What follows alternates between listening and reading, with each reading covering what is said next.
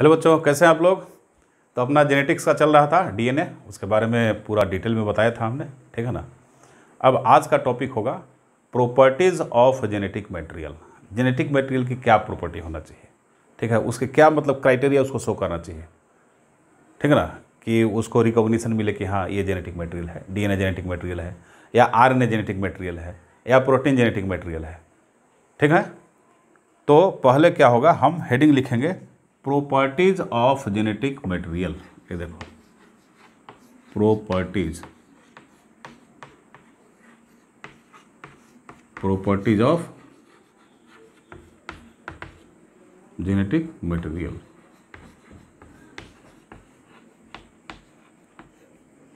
क्या प्रॉपर्टी होना चाहिए भाई जेनेटिक मटेरियल की प्रॉपर्टी क्या होना चाहिए ठीक है तो पहले देखो पहले इसमें ये बताया जाएगा कि ए हर्सी और एम चेज इन्होंने जो अपना एक्सपेरिमेंट किया था ट्रांसडक्शन एक्सपेरिमेंट उससे तो बिल्कुल अनडाउटफुली एकदम क्लियर कर दिया कि in comparison to protein DNA is actual the genetic material ठीक है डीएनए एक्चुअल जेनेटिक मटेरियल है समझ रहे हो तो यहाँ पे क्या लिखेंगे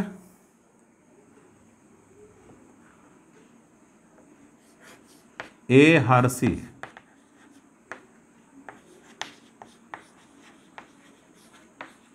and M Martha Chase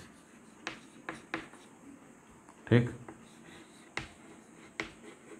proven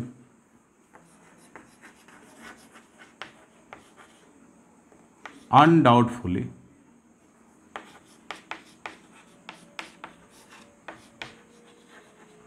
that DNA is the genetic material.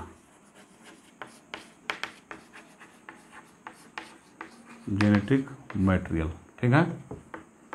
In comparison to किसके कंपैरिजन में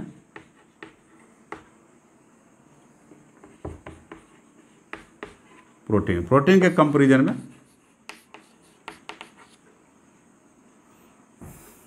sir DNA is the best genetic material in comparison to protein मतलब प्रोटीन और डीएनए के बारे में बहस छिड़ा हुआ था लोगों के बीच में ये डिबेट्स हो रहे थे तो ये बिल्कुल अनडाउटफुली क्या किया पूरा क्लियर कर दिया स्पष्ट कर दिया कि भाई डीएनए ही अब देखो मामला कहाँ फंसा मामला फंसा कि अब आरएनए के कुछ ऐसे वायरस की डिस्कवरी हो गई जिसमें आरएनए जेनेटिक मटेरियल जैसा काम कर रहा था तो फिर से एक बार डाउट आया कि अब बताओ भाई डीएनए की आरएनए अब किसको मानेंगे ठीक है तो देख लो क्या हो जाएगा कि हावेवर लिखेंगे क्या however some viruses some viruses जैसे कि टीएमवी टोबैको तो मोजाइक वायरस पहले बताया था आपको और एक क्यूबी बैक्टीरियोफेज होता है क्या होता है QB bacteriophage QB bacterio P H A S E QB bacteriophage इसमें जो होते हैं in some viruses R N A ये आर एन ए जो होता है R N acts as genetic material इनका जेनेटिक मटेरियल जो होता है वो आर एन ए होता है अब देख लो अब एक फिर नया डिबेट स्टार्ट हुआ क्या स्टार्ट हुआ कि नहीं तब तो लग रहा है कि आरएनए को ही मानना पड़ेगा हमें इक्विवेलेंटली जेनेटिक मटेरियल समझ रहे हो अब क्या हुआ आगे का पॉइंट कि अब आगे का पॉइंट ये आया साइंटिस्टों ने ऐसा एक स्टैंडर्ड बनाया कि भाई जेनेटिक मटेरियल कोई भी मॉलिक्यूल को हम जेनेटिक मटेरियल का रिकॉग्निशन कैसे देंगे उसको मान्यता कैसे देंगे ठीक तो उसको कुछ क्राइटेरिया फॉलो करना चाहिए समझ रहे हो वो क्या क्या क्राइटेरिया है तो पहले लिखेंगे क्या के a molecule we have as genetic material genetic material should follow क्या करना चाहिए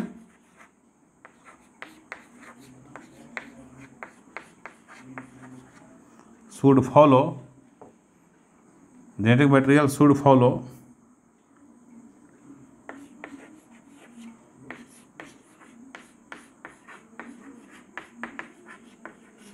should follow the following criteria following criteria जो लिखने जा रहे हैं उसको फॉलो करना चाहिए उसको क्या क्या फॉलो करना चाहिए भाई तो first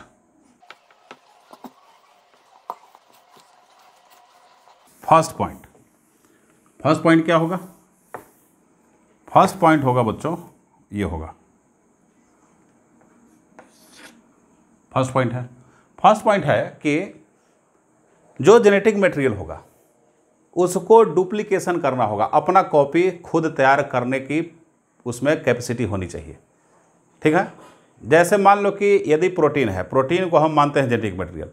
तो प्रोटीन में एक कैपेसिटी होना चाहिए कि वो अपना खुद से डबलिंग कर ले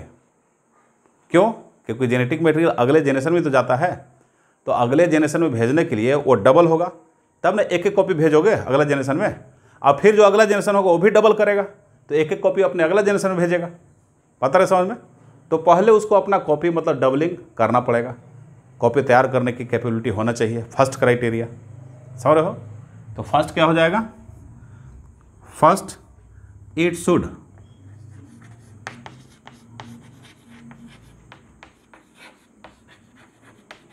it should have capability ठीक है it should have capability to क्या capability to make its own copy own copy उस प्रोसेस को क्या बोलते हैं the process is known as replication उसको क्या बोलते हैं रिप्लीकेशन रिप्लीकेशन और इसी को बोलते हैं और इसी को क्या कहते हैं और इस पूरे लाइन को क्या बोलते हैं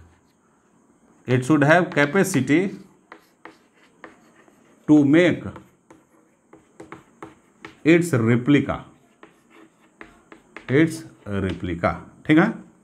रिप्लिका मतलब समझते हो जैसे मान लो कि आप जेरोक्स वाले दुकान पे गए फोटो कॉपी फोटो कॉपी वाले दुकान पे गए और वहाँ आपने कुछ मटेरियल देखे भैया इसका दो तीन कॉपी तैयार करके दे दो तो हु बहू जैसे आप देते हैं वैसे ही दूसरा तीसरा जितना बोलोगे चालीस पचास जितना बोलोगे वैसे ही कॉपी तैयार करके दे देगा आपको तो पहला जो मेन कॉपी आप दिए और बाकी का बाद में जो मिला है उसमें कोई डिफरेंस ही आपको नज़र नहीं आएगा तो उसी को बोलते हैं कि रिप्लिका तैयार करना ठीक है पहला जो मेन कॉपी आपने दिया था मेन जो मटेरियल दिया था उसी के जैसा और बाकी का कॉपी वो तैयार कर लिया तो बाकी को जो हुए उसको बोलते हैं रिप्लिका क्या बोलते हैं बाकी का जो फोटो कॉपी जो मिला आपको उसको रिप्लिका बोलते हैं मतलब कि रिप्लिका का फॉर्मेशन तो कैपेसिटी होना चाहिए उसके पास अपने रिप्लिका बनाने का ठीक है चलो सेकंड पॉइंट सेकंड पॉइंट क्या होगा अब देखो इस पॉइंट में देखो ज़रा अब आपके पास है क्या प्रोटीन क्या है प्रोटीन है आपके पास क्या हो गया प्रोटीन हो गया प्रोटीन है देख रहे हो प्रोटीन के साथ क्या है डीएनए है और क्या है आरएनए है ठीक प्रोटीन रिप्लिका तैयार नहीं कर सकता ये रिप्लिका तैयार नहीं कर सकता है ठीक है डीएनए तैयार करता है आरएनए भी तैयार करता है बोले क्या बात करते हैं सर आर एन तो डी एन ए के स्टैंड पर तैयार होता है तो आर एन कैसे तैयार करता है जहाँ जिनका आर एन जेनेटिक मटेरियल की बात बोल रहा हूँ जेनेटिक मटेरियल की डीएनए के स्टैंड पे आरएनए बनता है कहाँ जहाँ डीएनए जेनेटिक मटेरियल होता है याद रखना इस चीज़ को लेकिन जहाँ ए होगा जेनेटिक मटेरियल तो वो तो अपना रिप्लिका तैयार करेगा ही समझ रहे हो तो इसमें भी कैपेसिटी है इसमें भी कैपेसिटी है तो ये तो लड़ाई से बाहर हो गया ना ये तो मैदान से आउट हो गया ये प्रोटीन जो भाई साहब थे ये तो आउट हो गए पहले पॉइंट में ये पहले पॉइंट में फेल कर गए मतलब प्रोटीन क्या लिखेंगे protein fails protein fails to follow follow this statement ये ए स्टेटमेंट को फॉलो करने में फेल कर जाता है बिकॉज ये डुप्लीकेट नहीं कर सकता ठीक है चलो तो प्रोटीन यहीं से खारिज होगा कि चलो प्रोटीन की बात खत्म कर दो अभी तो पहले पॉइंट में फेल हो गया है अब हमें सेलेक्ट करना है डीएनए और आरएनए में से कि डीएनए जेनेटिक मटेरियल होगा कि आरएनए होगा अब दो ही में से आपको सेलेक्ट करना है ठीक है चलो सेलेक्ट करते हैं क्योंकि सेलेक्ट करना भी एक जीवन की अहम घटनाओं में आती है इसलिए सिलेक्शन बहुत ज़रूरी है ये देखो सेकंड पॉइंट सेकंड पॉइंट क्या होना चाहिए इट शुड बी एस्टेबल इसको क्या होना चाहिए it should be stable stable होना चाहिए ऐसा नहीं कि थोड़ा सा हिट किया बस सब टूट फट गए कोई केमिकल डाल दिया डाल दिया सब खत्म मामला समझ रहे हो सभी केमिकल से प्रूफ नहीं होंगे लेकिन अधिकतर केसेस में क्या होना चाहिए उसको स्टेबल होना चाहिए समझ रहे हो तो अब देखो यहाँ पे डीएनए जो होता है अब बात करते हैं डीएनए और आरएनए की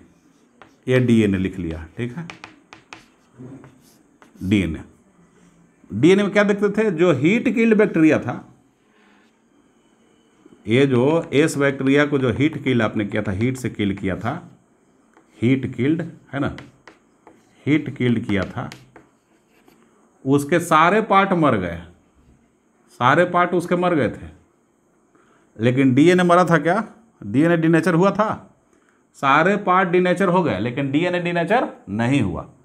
इसका मतलब कि डीएनए इंटैक्ट रहा क्योंकि डीएनए यदि डीनेचर होता तो वो आर में घुस के वो आर में घुसा और घुसने के बाद फिर आर को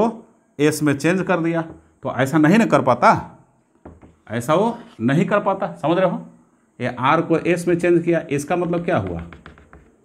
ये जो आर बैक्टीरिया को एस में चेंज कर दिया इसने आर को एस में चेंज कर दिया मतलब क्या हुआ कि इसके प्रोटीन पार्ट डीनेचर हो गए R N A part decompose कर गए समझ रहे हो खत्म हो गया लेकिन हीट करने से डीएनए खत्म नहीं हुआ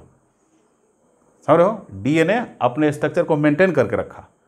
तो मेंटेन करके रखा तो आर सेस में कन्वर्जन हो गया इसका मतलब क्या हुआ कि डीएनए जो हुआ आर एन ए के कंपेरिजन में ज़्यादा स्टेबल है और प्रोटीन के कंपेरिजन में समझ बात को ठीक है तो ये हुआ तो यहाँ से क्या है प्रूफ मिलता है तो क्या लिखेंगे from griffith experiment from griffith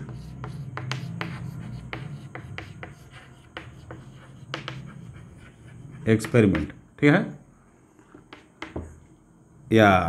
in Griffith experiment DNA was not destroyed not destroyed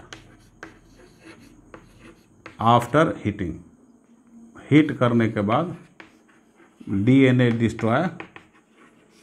नहीं हुआ डीएनए डिस्ट्रॉय नहीं हुआ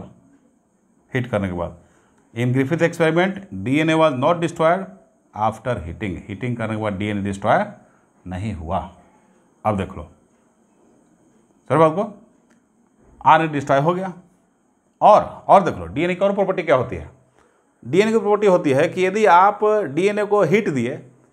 ठीक है अब एक्स्ट्रा हीटिंग कर दोगे अब एक्स्ट्रा हीटिंग करने में तो भाई बात ही अलग है अब आगे ही कहीं लग गया ठीक है खूब तगड़ा स्ट्रॉन्ग हीट दे दिए जो लिमिट से पार हो गया तो डीएनए को यदि थोड़ा सा ज़्यादा एक्स्ट्रा हीट दोगे तो वो क्या कर जाएगा उसके जो ये जो स्टैंड है वो खुल जाते हैं स्टैंड उसको खुल जाएंगे लेकिन फिर से प्रॉपर कंडीशन प्रोवाइड करने के बाद फिर से वो जुड़ जाता है मतलब कहने का मतलब कि डीएनए की प्रॉपर्टी होती है कि देखो ये ध्यान से ये डीएनए का दो स्टैंड है दो स्टैंड डीएनए का है ये बेस पेयर से क्या जुड़े हुए हैं ठीक अब इसको आपने हीट दे दिया खूब तगड़ा हीट दे दिया तो तगड़ा हीट दिया तो क्या होगा ये अलग हो गया एक स्टैंड अलग हो गया और फिर दूसरा स्टैंड भी क्या हो गया अलग हो गया ठीक है लेकिन जब फिर से सुटेबल कंडीशन देंगे प्रॉपर कंडीशन देंगे तो फिर से इसमें कन्वर्ट हो जाएगा देखो इसमें कन्वर्ट हो सकता है जब सुटेबल कंडीशन देंगे तो क्या देंगे सुटेबल कंडीशन सुटेबल कंडीशन मतलब थोड़ा उसको ठंडा करेंगे ठीक है कुछ एंजाइम का ट्रीटमेंट करेंगे तो ये फिर से दोनों रीज्वाइन करके यहाँ पे फिर से ऐसा बना लेगा मतलब कि स्टेबिलिटी शो कर रहा है इसका टेंडरनेस बना हुआ है कि हम भाई स्टेबल रहेंगे हम जुड़ना चाहेंगे जुड़ के रहेंगे हम स्टेबिलिटी को हम मेंटेन करेंगे ये अनस्टेबल नहीं होना चाह रहा है ठीक है तो एक ये भी पॉइंट है इस पॉइंट को आप लोग लिख लीजिए कैसे लिखेंगे इसको लिखने के लिए मेरे प्यारे बच्चों इसको लिखने के लिए क्या करूँ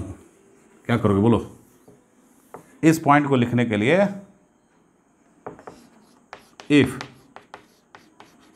DNA is heated extra ठीक DNA is provided extra temperature is provided extra extra temperature extra temperature then it's both the strands इसके दोनों स्ट्रैंड क्या होंगे it's both the strands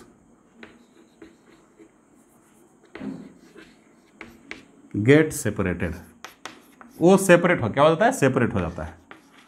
gate separated ठीक है but these strands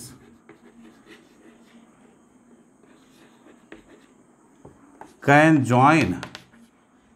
again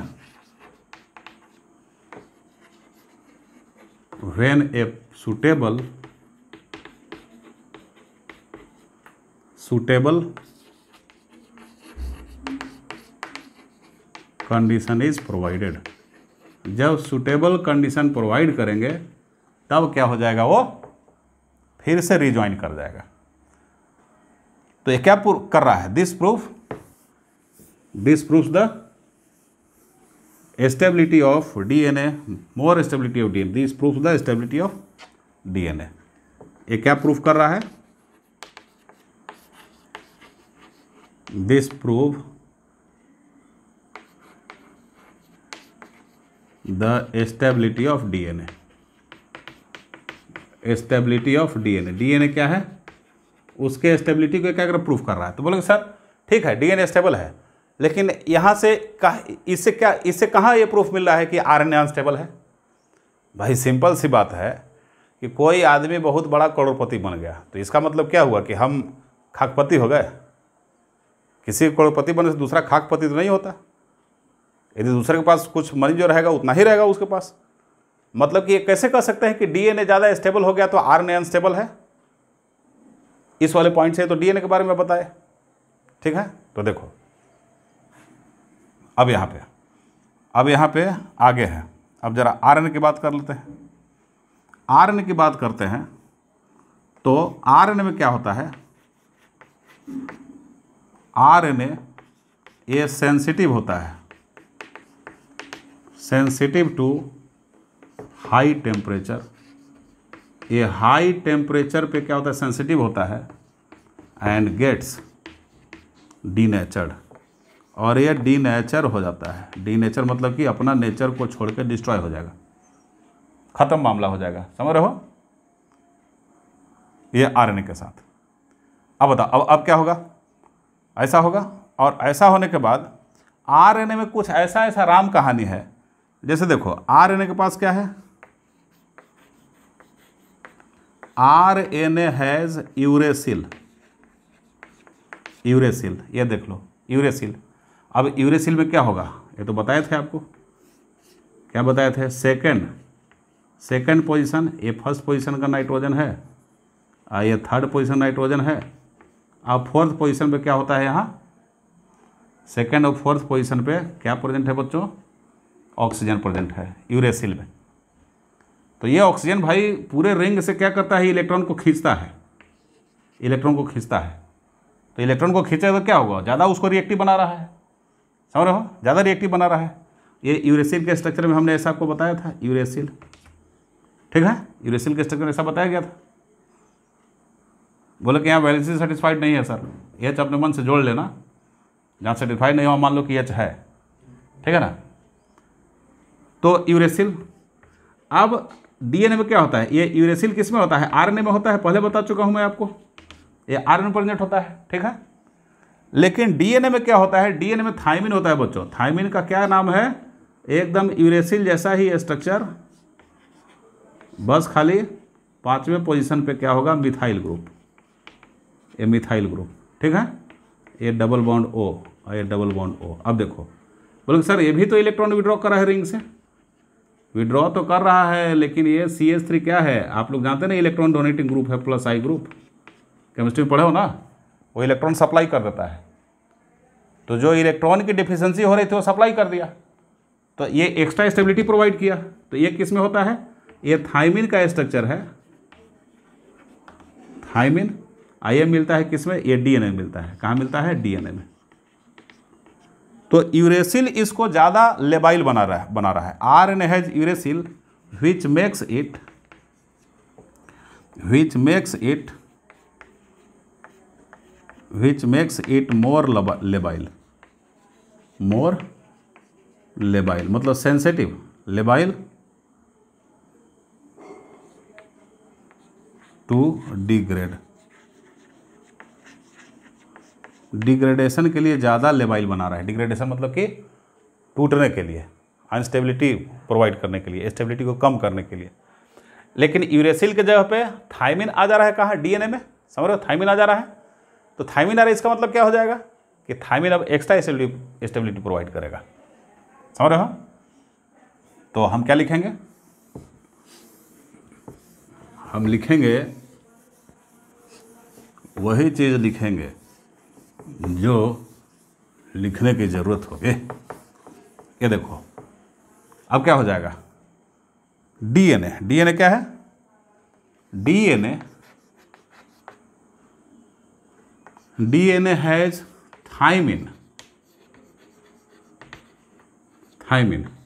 at the place of uracil uracil के जगह पे क्या है थाइमिन है समझ रहे हो at the place of uracil uracil की जगह पे थायमिन प्रेजेंट है समझ रहे हो तो ये क्या हो जाएगा it it provides provides extra stability extra stability to DNA thymine क्या करता है एक्स्ट्रा स्टेबिलिटी को डीएनए को प्रोवाइड करता है समझ रहे हो तो डीएनए तो एकदम आरएनए से सुपीरियर हर मामले में सो हो रहा है अब एक और चीज़ देख लो एक और चीज़ क्या आरएनए में क्या बताया था आरएनए के पेंटोज शुगर में क्या बताया था बच्चों बोलो बोलो मेरे रत्नो पंच रत्नो बोलो तो ये हो गया ये फर्स्ट कार्बन है फर्स्ट कार्बन पे ए एच और ओ एच और सेकेंड कार्बन में क्या था ओ एच और एच थर्ड पे क्या था ओ OH और एच फोर्थ पे क्या था एच और C H two O H ये पेंटोज शुगर है मतलब कि राइबोज राइबोज शुगर जो कि आर में मिलता है राइबोज शुगर जो कि कहाँ मिलता है ये आर एन ए में मिलता है मेरे प्यारे बच्चों कहाँ मिलता है आर एन ए ये देखो ये आर एन मिलता है तो आर में मिलता है तो यहाँ पे क्या देख रहे हैं सेकेंड पोजिशन पे ओ OH ग्रुप देख रहे हो सेकेंड कार्बन पे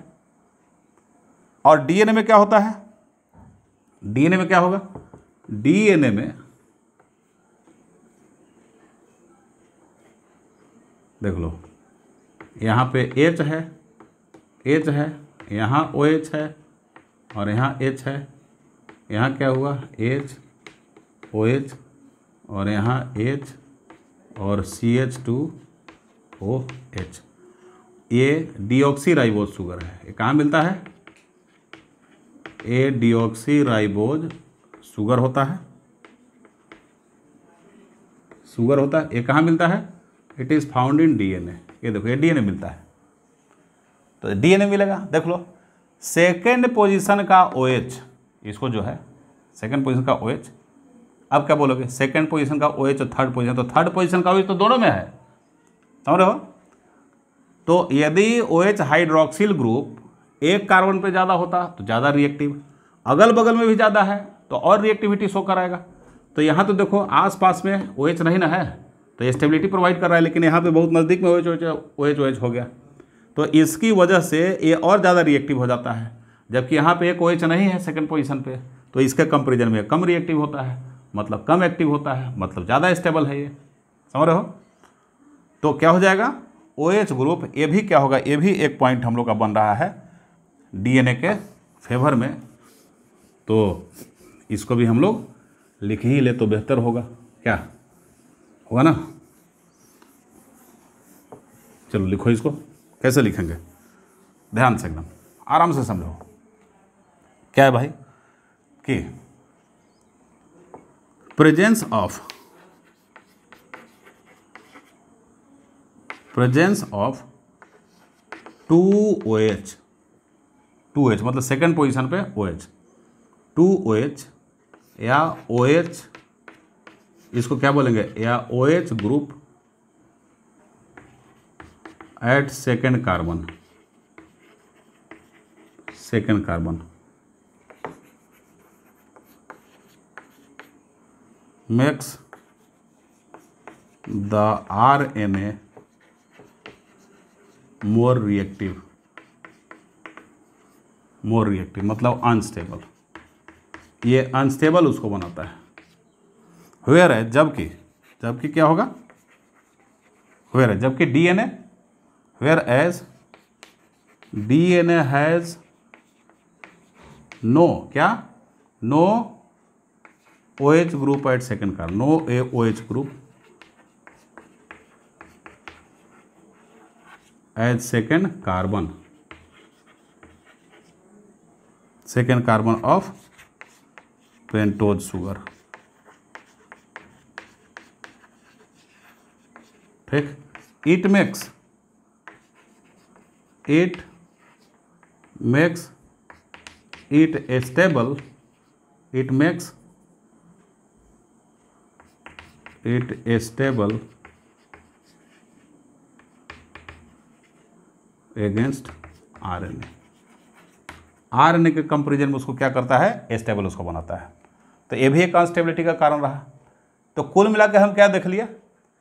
कि DNA is more stable in comparison to RNA तो इसलिए डीएनए के दावेदारी तो अब बन जाती है पहला पॉइंट में रिप्लीकेशन प्रोटीन खारिज प्रोटीन ख़त्म बच गया क्या लड़ाई में अब बच गया दो रेस से बाहर हो गया प्रोटीन पहले पॉइंट में रिप्लिकेशन वाले पॉइंट में समझ रहे हो अब बच गए दो आर एन और डी एन ए अब दूसरे पॉइंट में बिल्कुल आर एन ए धाराशाही हो गया औंधे मुँह गिरा स्टेबिलिटी के मामले में ये डी एन ए ज़्यादा स्टेबल हो जा रहा है समझ रहे हो अब थर्ड पॉइंट में आते हैं थर्ड पॉइंट क्या है भाई थर्ड पॉइंट जो है देखो ध्यान से सेकंड पॉइंट को तो डील कर लिया थर्ड पॉइंट जो है कि जेनेटिक मटेरियल को चेंज होना चाहिए लेकिन चेंज वो भी कैसे स्लो चेंज के थ्रू उसको गुजरना चाहिए जिससे कि इन्वायरमेंट एटमोसफेयर चेंज हो तो आप ऑर्गेनिज्म में भी चेंज आ जाए जिससे कि एवोल्यूशन पॉइंट ऑफ व्यू से उसका इंपॉर्टेंस बना रहे समझ रहे हो चलो थर्ड पॉइंट क्या थर्ड पॉइंट है समझ रहे हो a genetic material a genetic material देखो genetic material क्या should show या should change slowly should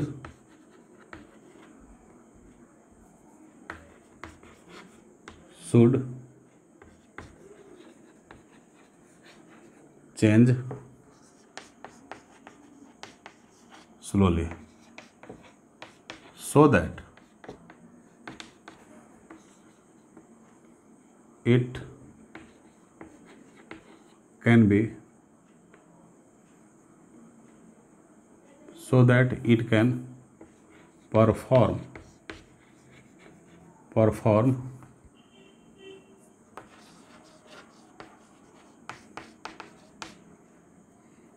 essential role in evolution जिससे कि इवोल्यूशन में ये एसेंशियल रोल को क्या करे परफॉर्म करे ठीक है क्यों क्योंकि भाई जो जेनेटिक मटेरियल होगा उसको चेंज दिखाना पड़ेगा और चेंज कैसा स्लोली स्लो चेंज कैसा स्लो चेंज फास्ट चेंज दिखाएगा तो गड़बड़ हो जाएगा फास्ट चेंज में क्या होगा अब एटमॉस्फेयर धीरे धीरे चेंज कर रहा है ये फास्टली चेंज कर जाएगा ऑर्गेनिज्म तो ऑर्गेनिज्म क्या हो जाएगा एक्सटिंक्ट हो जाएगा वो दुनिया से ही गायब हो जाएगा फिर इसलिए क्या होना चाहिए जेनेटिक मटेरियल को स्लो चेंज होना चाहिए समझ रहे हो तो स्लो चेंज होना चाहिए मतलब क्या हुआ मतलब कि वो इवोल्यूशन पॉइंट ऑफ व्यू से वो क्या होगा बहुत बढ़िया से ऑर्गेनिज्म को सेट करता है जिस इन्वायरमेंट में वो रह रहा है ऑर्गेनिज्म उससे फाइट करने में ठीक है अब देखो अब कंपेरिजन कर लेते हैं डी एन ए का कौन इस पर बेटर सूट करेगा तो देख लो बेटर सूट करेगा ए जितने जितने ऑर्गेनिज्म में R N A genetic material का काम किया है उसमें बहुत फास्ट चेंज हो लाया है ठीक ना एकदम एक एक म्यूटेंट से दूसरा म्यूटेंट म्यूटेंट से फिर दूसरे म्यूटेंट से तीसरा म्यूटेंट तीसरे म्यूटेंट से चौथा म्यूटेंट ऐसा ऐसा मतलब कि फास्ट चेंज लाया है अभी देखो लो एट प्रेजेंट जो कोरोना चल रहा है तो इसमें देख लो ये क्या वेब कोरोना का लहर आ रहा है वेब आ रहा है मतलब क्या हुआ कि पहले ये कोरोना का वायरस क्या है ये इसका जेनेटिक मटेरियल आर का बना हुआ है तो फास्ट चेंज शो कर रहा है मतलब हर दो तीन महीने में अपना रूप चेंज करके आ जा रहा है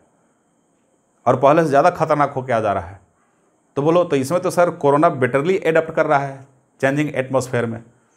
अरे बच्चों एटमोसफेयर भी चेंज कहाँ कर रहा है ये दो चार साल दो चार छः महीने में एटमोसफेयर चेंज होता है क्या इन्वायरमेंट ठीक है सराउंडिंग इन्वायरमेंट चेंज का मतलब हुआ कि it takes over hundred years thousand years million years ऐसे बात करेंगे ये छः महीना दो महीना तीन महीना या एक साल दो साल इसमें लगभग एटमोसफेयर कॉन्स्टेंट ही रहा बोले सर ये जो आता है बारिश कभी ठंड कभी वो तो नॉर्मल सीजनल चेंज हो गया एक ड्रेस्टिक चेंज पूरे ग्लोब में बात बात बोल रहे हैं जैसे शुरुआत में खाली कितने मिलियन ईयर्स तक खाली बारिश ही होते रहते धरती पे धरती को ठंडा करने के लिए अर्थ को और भी अभी अर्थ पूरा अंदर से ठंडा नहीं हुआ है गर्म ही है तो ऐसा एटमोसफेयर की बात बोल रहा हूँ समझ रहे हो तो वहाँ पे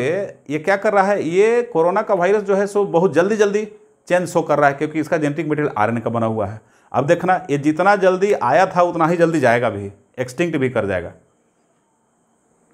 ख़त्म हो जाएगा समझ रहे हो जैसे एक वेरिएंट का वेव आ रहा है फिर वो ख़त्म हो जा रहा है फिर दूसरा वेरिएंट आ रहा है तो ऐसे ऐसा नहीं कि वेरिएंट का चेन चल जाएगा ऐसा नहीं है कि चेन चलेगा इसी वायरस के लिए वो म्यूटेशन वो चेंज आरएनए की वजह से जो जल्दी जल्दी चेंज ला रहा है उसी वायरस के लिए खतरनाक हो जाएगा वो एक दिन वायरस ही खत्म हो जाएगा समझ रहे हो तो जिस ऑर्गेनिज्म का जेनेटिक मटेरियल आरएनए है वो बहुत जल्दी चेंज शो करता है और चेंज शो करना उसकी ड्रॉबैक में आ जाता है और ड्रॉबैक में आ जाएगा तो एक्सटिंक्ट कर जाएगा वो ख़त्म फिर हो जाएगा समझ रहे हो वो चैलेंज उसको ये फील करना पड़ता है ये एक्सपीरियंस करना पड़ता है तो क्या लिखेंगे द ऑर्गेनिज्म आर्गूमेंट क्या इसका देंगे द ऑर्गेनिज्म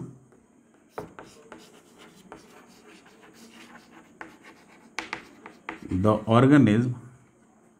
खास करके viruses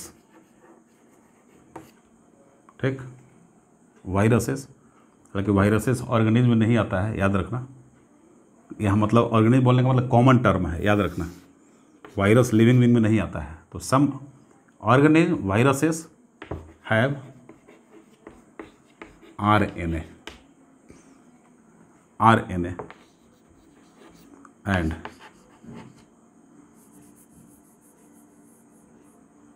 some organism some organism viruses have R N A and they so rapid changes fast mutation समझ रहे हो फास्ट म्यूटेशन इसी से म्यूटेंट माना म्यूटेंट वेराइटी म्यूटेंट ये कौन सा म्यूटेंट आया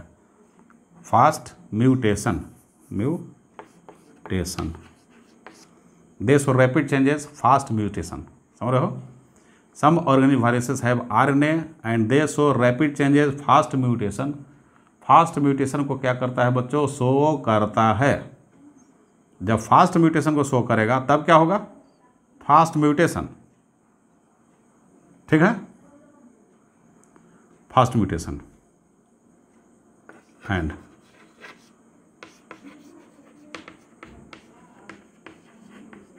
this become a thread for that organism thread for that ये उस ऑर्गेनिज के लिए एक डर बन जाता है दैट ऑर्गेनिज्म ठीक है ये वो सर्वाइव करेगा कि नहीं करेगा तो इसका मतलब क्या हुआ कि आर ए जो होता है वो बहुत ही तेज़ म्यूटेशन शो करवाता है तो आर एन ए को हम जेनेटिक मटेरियल अब नहीं कह सकते अब यहाँ प्रूफ हो गया कि डीएनए ही जेनेटिक मटेरियल होगा समझ रहे हो तो डीएनए क्या है सभी तीन पॉइंट पे सुपेरियर हो गया आरएनए से अब फोर्थ पॉइंट देखो फोर्थ पॉइंट क्या है फोर्थ पॉइंट ये है कि ए जेनेटिक मटेरियल ठीक should follow the Mendelian inheritance Mendelian inheritance में उसको क्या होना चाहिए फिट बैठना चाहिए समझ रहे हो जैसे होता था ना कि एक डीएनए है ये कैपिटल टी स्मॉल टी अलग अलग हो जा रहे हैं ये ये इस तरीके से इस मेंडेलियन इनहेरिटेंस में क्या होना चाहिए उसको फिट बैठना चाहिए तो देखो फोर्थ पॉइंट क्या आ जाएगा फोर्थ पॉइंट आ जाएगा a genetic material should follow the Mendelian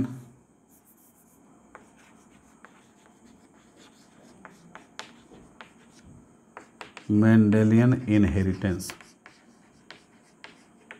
ठीक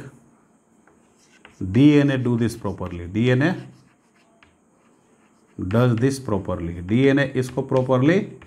परफॉर्म करता है वो आरएनए का तो सवाल ही नहीं होता है क्यों क्योंकि भाई डीएनए परमानेंट स्ट्रक्चर के फॉर्म में क्रोमोजोम में होता है और सटन बावेरी ने क्या कहा था सटन एंड बावेरी वो प्रूव कर दिए थे कि मेंडलियन फैक्टर कुछ नहीं है बल्कि वो डीएनए ही है जो कि क्रोमोजोम के अंदर है ठीक है मतलब वो बोला था कि क्रोमोजोम के अंदर होता है डीएनए के बारे में उन्होंने नहीं बताया था कि डीएनए ही एक्चुअली है बाद के साइंटिस्ट ने बोला कि क्रोमोजोम के अंदर तो है लेकिन वो कौन चीज़ है वो डीएनए है उसके अंदर में डीएनए एकदम तो स्टेबिलिटी के साथ फिक्स रहता है क्रोमोजोम में क्वाइल्ड होकर जो न्यूक्लियोजोम का आप लोग को स्ट्रक्चर बताया गया ठीक आर वैसा नहीं होता वहाँ समझ गए इसका मतलब कि डीएनए वहाँ भी फिट बैठ रहा है आरएनए फिट नहीं बैठा तो अब अनडाउटफुली हम कह सकते हैं कि DNA is superior than RNA and it behaves like ठीक it has means it's uh, इसको हम क्या बोलेंगे ये बहुत स्ट्रांग मतलब कि हो गया प्रूफ इसका कि डीएनए जेनेटिक मटेरियल हमारे पास है तो these all these all discussions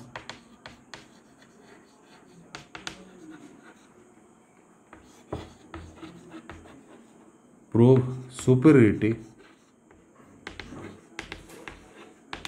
D N over R N as genetic material.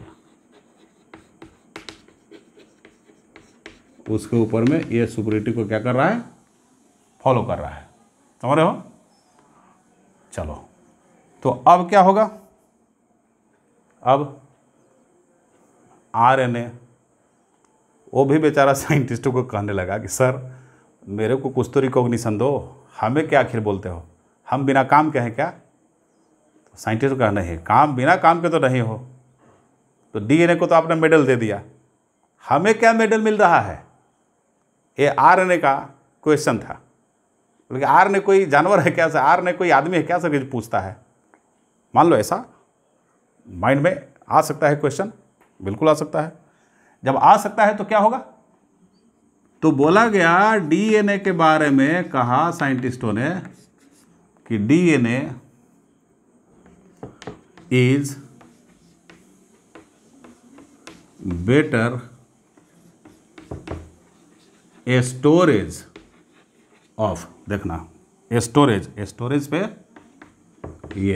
Underline करो storage of genetic information genetic information का एक बहुत बढ़िया क्या है स्टोरेज होता है कौन डीएनए आरएनए क्या होता है RNA is better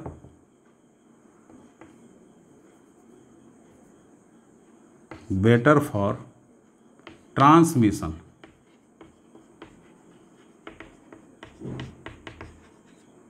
transmission of genetic information genetic information को ट्रांसमिट करने के लिए ये बहुत बढ़िया है दोनों को मेडल मिल गया और डीएनए जेनेटिक मटेरियल बन गया क्योंकि वो जेनेटिक जो जेनेटिक इन्फॉर्मेशन को स्टोर करके रखता है कौन डीएनए समझ आर क्या करता है उसी इन्फॉर्मेशन को जो डीएनए में स्टोर है ठीक ना उसी इन्फॉर्मेशन को आगे कन्वे करता है और कैरेक्टरिस्टिक का एक्सप्रेशन देता है वो मतलब कैरेक्टरिस्टिक बनाने में हेल्प करता है ठीक है मतलब डीएनए डायरेक्ट कैरेक्टरिस्टिक का एक्सप्रेशन नहीं देता आरएनए के माध्यम से वो काम करता है आरएनए के हेल्प से काम करता है बताए समझ में चलो ठीक है तो is better for transmission of genetic information ये जेनेटिक इन्फॉर्मेशन के लिए बेटर ट्रांसमिशन का काम करेगा ठीक है ना ऐसा यदि होगा अब चलो अब बात करते हैं डीएनए रिप्लिकेशन की ठीक है किसकी बात करते हैं डीएनए रिप्लिकेशन की डीएनए रिप्लिकेशन डीएनए रिप्लिकेशन क्या होता है replication of DNA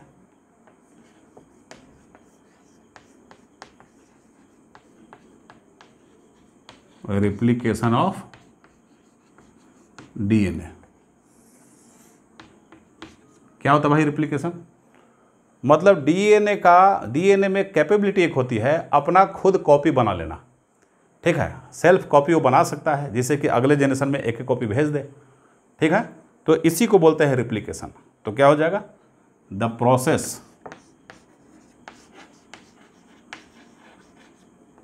the process in which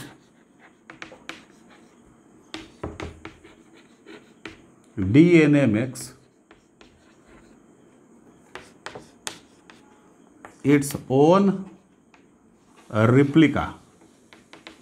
Replica मतलब copy. ठीक है ओन कॉपी खुद से बाय इट ठीक is known as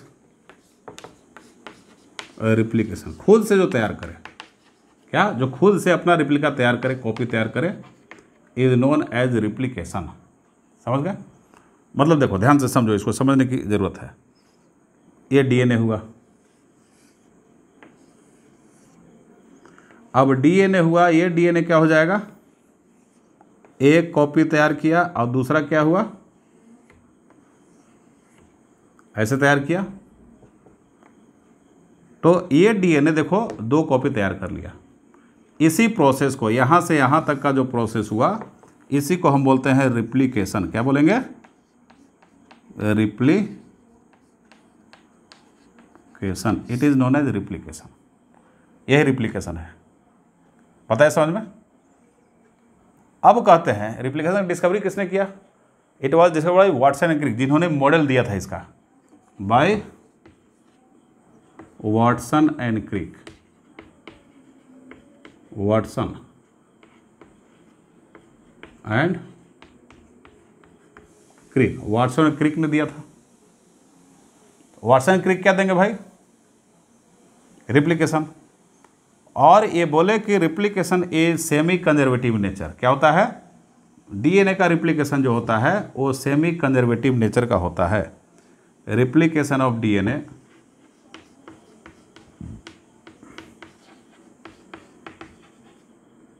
replication of DNA is कैसा नेचर का होगा रिप्लीकेशन सेमी कंजर्वेटिव नेचर का ठीक है is semi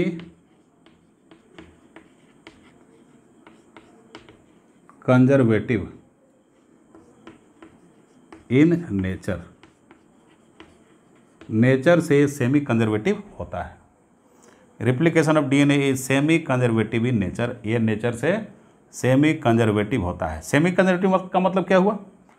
सेमी कंजर्वेटिव का मतलब हुआ कि अब मान लो ऐसे कर लो कि मतलब ये दो स्टैंड में से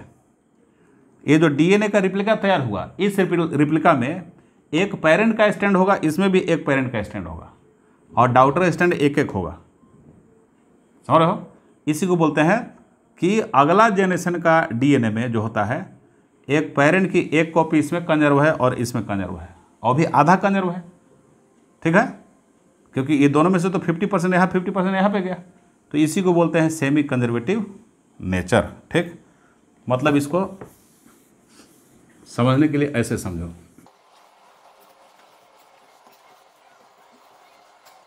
कैसे समझना है भाई सेमी कंजर्वेटिव नेचर को कुछ ऐसे समझते हैं ध्यान से एकदम देखो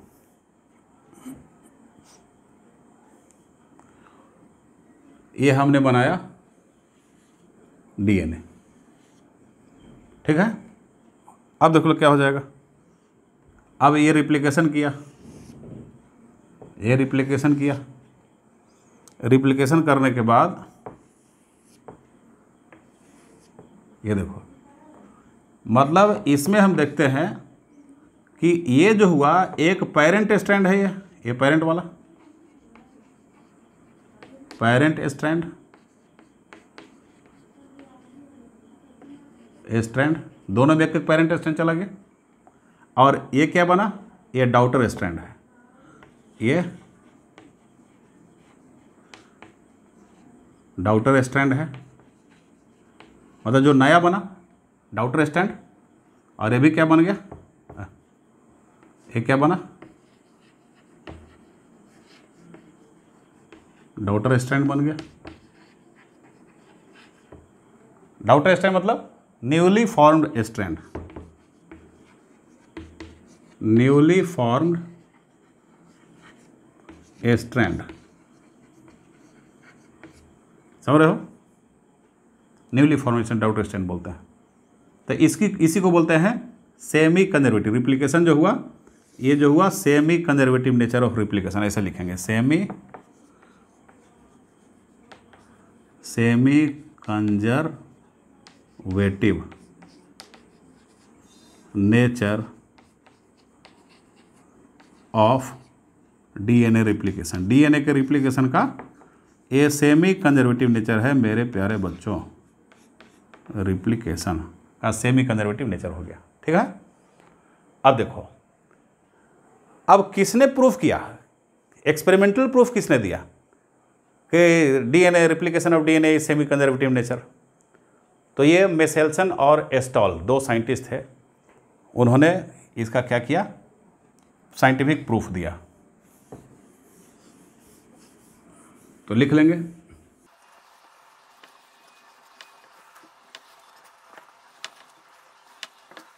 Meselson and Stahl Meselson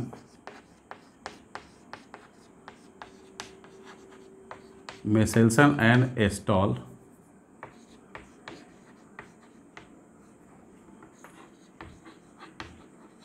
proved the semi conservative किसके बारे में the semi conservative nature of DNA. DNA replication. इन्होंने प्रूफ किया कैसे एक्सपेरिमेंट का नाम क्या था नेम ऑफ एक्सपेरिमेंट एक्सपेरिमेंट का क्या नाम होगा बोलो एक्सपेरिमेंट डेंसिटी ग्रेडियंट क्या बोलते हैं उसको density gradient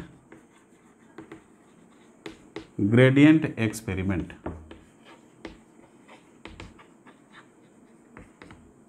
density gradient experiment उनका एक्सपेरिमेंट का क्या था नाम था क्या क्या इन्होंने भाई इन्होंने किया कि रेकिया कोलाई बैक्टीरिया ले लिया रेकिया कोलाई क्या ले लिया रेकिया कोलाई बैक्टीरिया लिया ई कोलाई समझ रहे हो अब ई e कोलाई को एन फिफ्टीन मीडियम में ग्रो कराया इसका देखो ये डीएनए है ई e कोलाई किस में कराया एन फिफ्टीन मीडियम में ग्रो कराया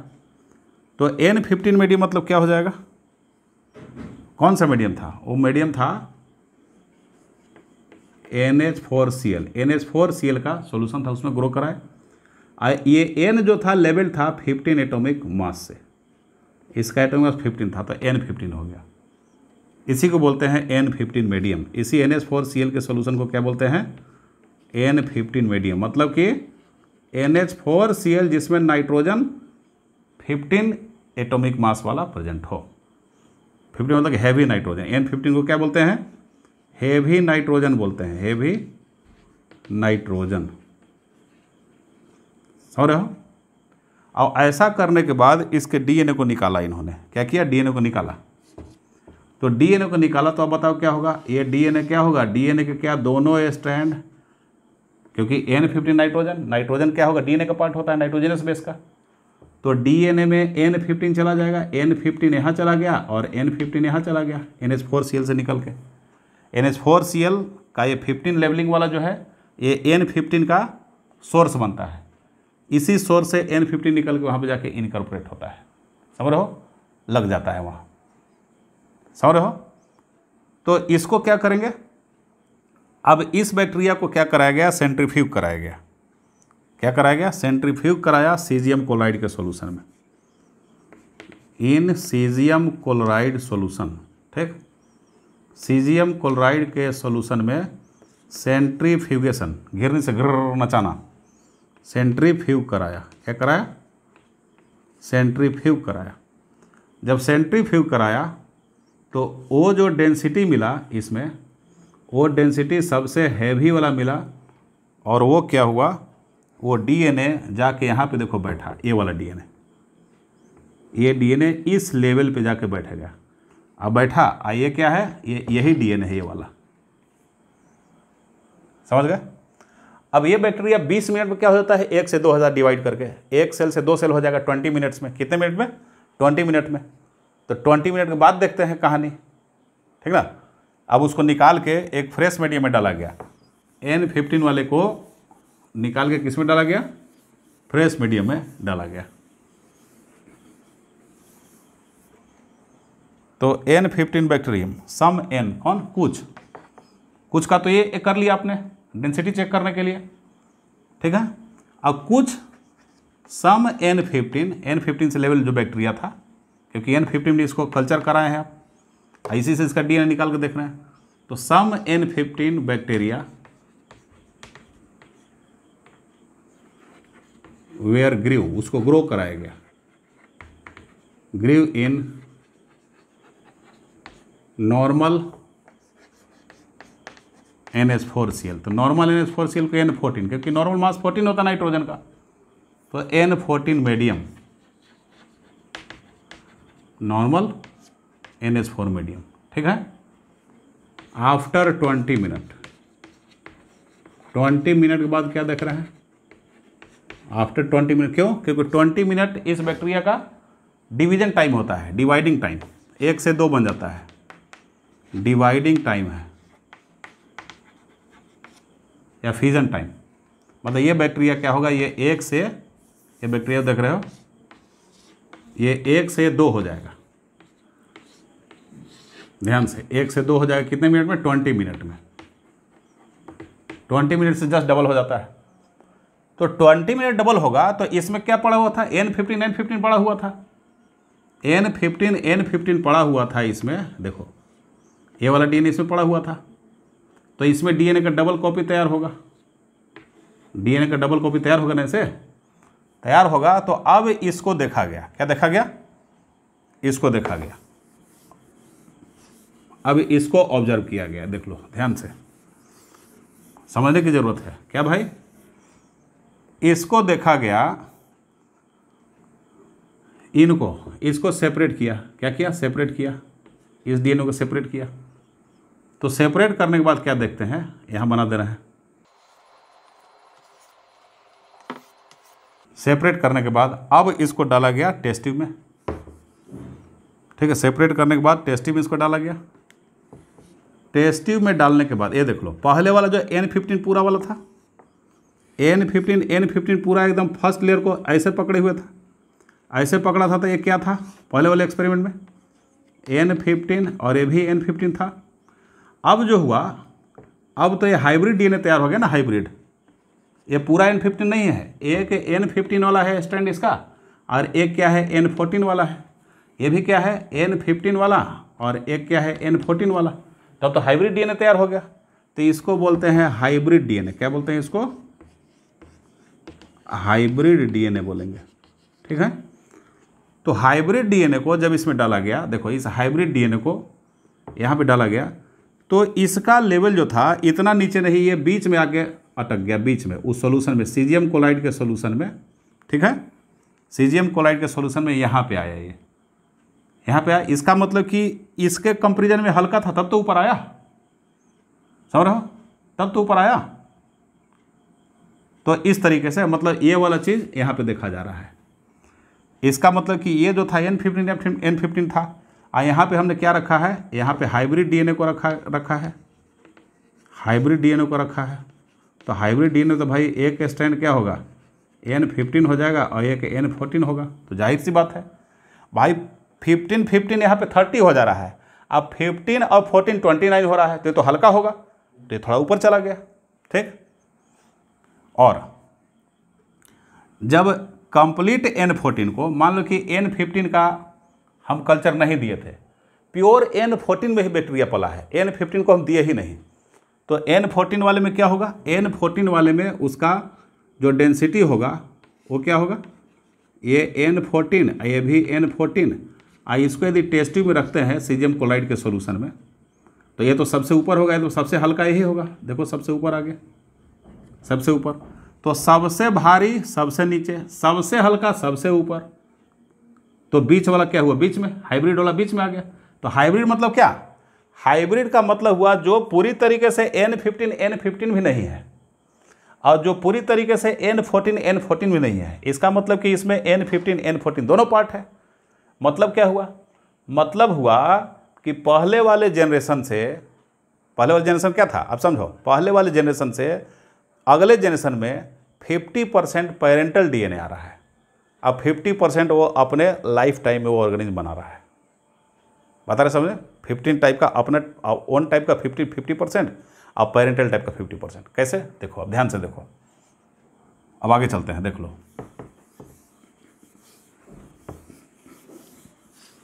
इसी को बोलते हैं क्या सेमी कंजर्वेटिव नेचर ठीक है देखो इस फिगर को यदि बनाए अच्छे से बनाया जाए तो कुछ ऐसा होगा शुरू में आपका क्या था एन फिफ्टीन एन फिफ्टीन था क्योंकि उसी मीडियम में आप, आपने पाला था इसको अब आगे के ट्वेंटी मिनट्स में क्या हुआ ट्वेंटी मिनट्स तो एक से दो हो जाते हैं तो एक एन फिफ्टीन का आ गया और एक क्या आ गया देखो एक आ गया एन फोर्टीन का अरे यार तो ऐसे बनाते दो कलर का बनाते ना तो मज़ा आता दिखता साफ एकदम ये देखो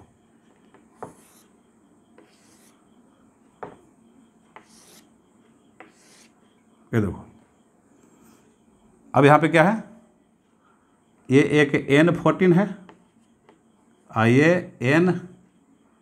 ये एन फिफ्टीन है ये एन फोर्टीन है एन फिफ्टीन और एन फोर्टीन ये फर्स्ट जनरेशन हुआ अब इसके बाद सेकंड जनरेशन आएगा तो ये भी दो दो बनाएगा ये भी क्या बनाएगा दो दो बनाएगा अब दो दो बनाएगा तो क्या हो जाएगा अब देखो ये अपने स्टैंड पे ये नया वाला नया वाला अपने स्टैंड पे दूसरा बनाएगा और पुराना वाला अपने स्टैंड पे एक नया बना लेगा तो पुराना वाला अपने स्टैंड पे एक नया बना लिया पुराना वाला क्या करेगा एक नया बनाएगा क्योंकि ये तो पुराना वाला है आज जब दूसरा बनेगा इसका कॉम्प्लीमेंट्री तो नया वाला ही होगा तो इसमें देखो क्या है अब क्या आया अब आया एन फोर्टीन एन फोर्टीन आइए किस में एन फिफ्टीन और एन फोर्टीन आइए यहाँ भी वही बात होगी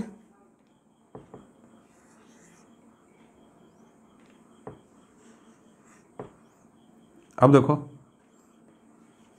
एन फिफ्टीन और एन फोर्टीन और यहाँ पे complete N fourteen N fourteen N next generation ये आगे का फिर मतलब यदि यहाँ से जोड़े तो यहाँ से जोड़े तो ट्वेंटी मिनट और यहाँ से यहाँ तक का जोड़े तो ये फोर्टी मिनट हो जाएगा कितना मिनट हो जाएगा ये फोर्टी मिनट की कहानी होगी चालीस मिनट और ये ट्वेंटी मिनट तो ये फोर्टी मिनट यहाँ से एक्चुअली यहाँ से स्टार्ट हुआ तो ट्वेंटी मिनट और फिर अगला ट्वेंटी मिनट तब ये फोर्टी मिनट हुआ है समझ रहे हो अगला ट्वेंटी मिनट तब ये फोर्टी मिनट हुआ है क्योंकि ट्वेंटी मिनट में ही एक से दो होते हैं तो एक से दो ट्वेंटी मिनट में फिर एक से दो अगला ट्वेंटी मिनट में समझ रहे हो तो हुआ तो अब क्या देख रहे हैं कि ये पार्ट जो है ये दो पार्ट जो हुआ ये दो पार्ट ये कंजर्व रह जा रहा है और बाकी दो जो है सो नया नेक्स्ट सेकेंड जनरेशन में फिफ्टी परसेंट एकदम न्यू डीएनए हो गया और फिफ्टी परसेंट ओल्ड डीएनए हो गया ठीक है तो सेकेंड जनरेशन में क्या हो जाएगा second generation